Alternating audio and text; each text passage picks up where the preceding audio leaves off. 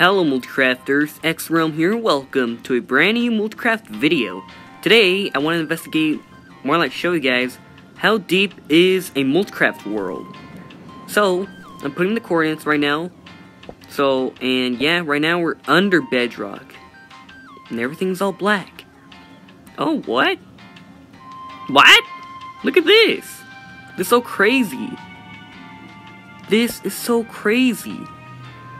The the deepest you could go is 9999, but I just put an 8 for that because I don't want to glitch much. So wait, I have a few questions. Like, can we can we like spawn things? Can we place things?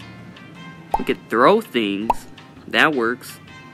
Okay, so can we spawn things under bedrock?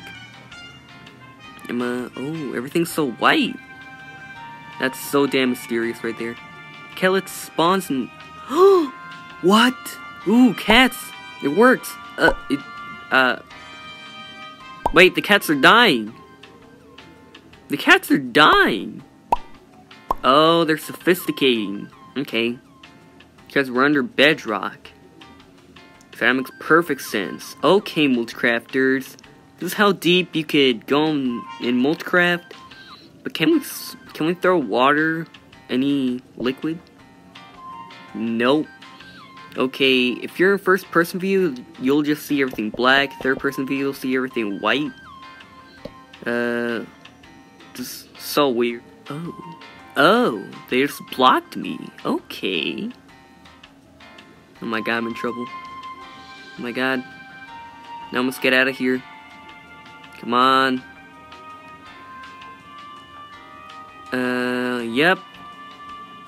99999 is the limit of how deep you can go in Multicraft. You cannot go 1 million. 1 million. That is 9 million, isn't it? I don't know. Okay. So yeah, Multicrafters. That was it for this video. Um, this is very, very weird. Look, we can I teleport F map bounds. This is so crazy. You guys can explore if you want. Yeah, whatever. I'm out. Bye bye.